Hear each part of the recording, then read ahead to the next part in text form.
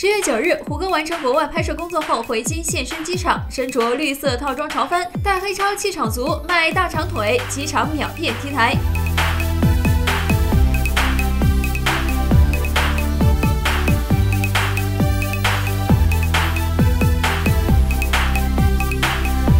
虽然当今的时尚圈总刮着当红小生的风，但真正能持久永存的还是真男人。奶油小生们如果不找到自己的转型之路，就很难持久的红下去，真的就只是一股龙卷风。然而，小生转型最成功的一位，当属胡歌了吧？